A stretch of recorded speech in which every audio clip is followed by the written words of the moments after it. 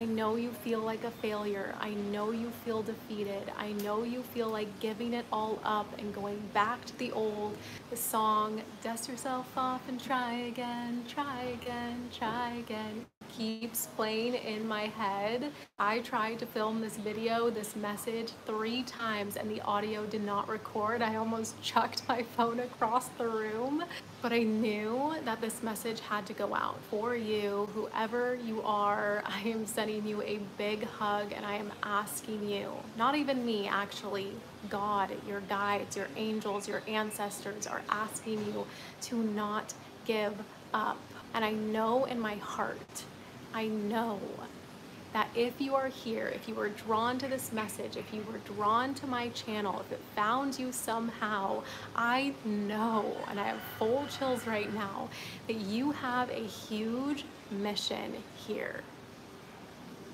You are meant to do big things in this lifetime. And part of your mission is to lead the new way and to build the new earth and your vision, what your heart has been calling you to do, is a piece of that. It's a piece of this beautiful collective mission. Your community needs you. The people that you haven't even met yet, they are waiting for you. You're wondering, why the heck has it not happened yet? Why am I being met with failure after failure, disappointment, defeat, challenge? Because you are a leader. And leaders have to be resilient, strong, and they have to feel the depths of it all in order to really carry the people they are meant to lead. So you are feeling this right now so that you can hold it all. You can find your real power. Your true power doesn't happen when you're successful. Your true power happens right now. Call it back. That is what is ready to be sparked right now and to fuel you to move forward. I am fired up right now. I know how you feel. I have been in it. I still feel like I'm in it at times and it's freaking hard and it's hard to do it alone. But I want you to know you're not alone. I see you. I genuinely, genuinely hope that you feel that. And if this is resonating with you, I hope you'll join this community and stick around and practice and share part of your vision with me because I would love to hold the vision with you. I would love to support you.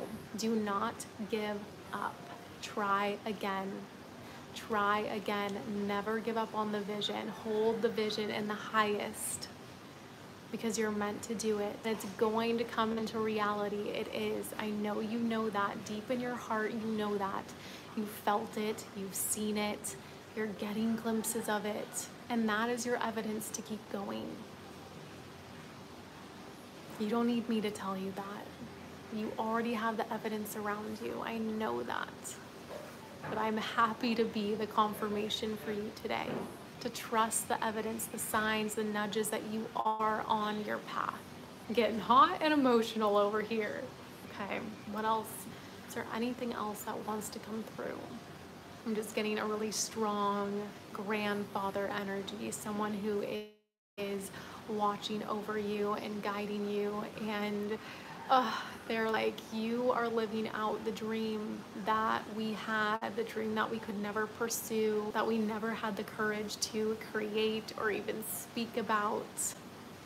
You're living that dream for them. So do it for them, do it for someone else. If you can't do it for you right now, do it for your ancestors, do it for a family member, do it for the people that you know who need the magic that you have to give. I'm sending you so much love and I'm gonna link some practices below to help you call that power back, to help you shift your energy and get back into your knowing because I know who you are and you know who you are too. I love you and I will see you soon. Bye friend.